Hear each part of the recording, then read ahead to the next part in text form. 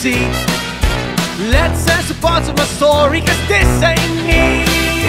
Whoa! I was placed inside this body by some doctors, thanks to my mom who signed papers with these markers.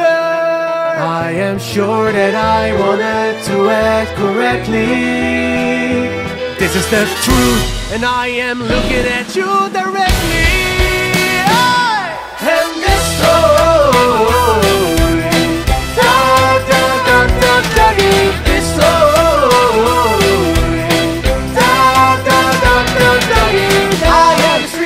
got it